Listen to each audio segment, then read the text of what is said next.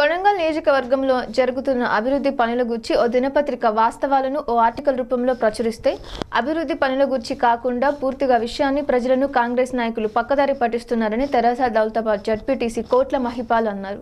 సోమవారం జరిగిన విలేకరుల సమావేశంలో ఆయన మాట్లాడారు. ఈ సమావేశంలో పాండు నాయక్ నరేందర్ నాయక్ పాల్గొన్నారు.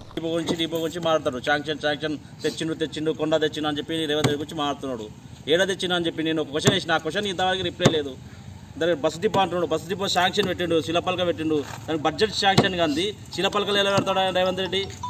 అదేవిధంగా ఆ రోజు ఆనాటి శిలపలక పెట్టిన రోజు T R RTC Botsa Satyanarayana minister ఉన్నాడు.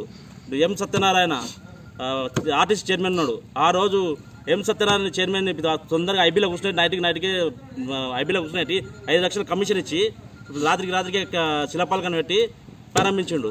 బడ్జెట్ లేని ఎలా సా- ఎట్లా శాంక్షన్ చేస్తాడు శాంక్షన్ అయినా చెప్తాడు. ఇంతదాకా దాని ప్లాట్లు ఇచ్చినా అని చెప్తున్నాడు కానీ శాంక్షన్ బడ్జెట్ పేపర్ పెట్టమని ఇంతవరకు రిప్లై లేదు. చదువుతున్నాను మీరు కూడా ఇవి సూక్ష్మంగా విని మీరు కూడా అభివృద్ధి పర ముందుకు సాగేటట్లు కూడా ముందుకు సాగాలని కూడా సహకరించాలని అందరికీ సభాముఖంగా తెలియజేస్తూ ముగిస్తున్నాను. జై హింద్ జై తెలంగాణ జై నరేంద్ర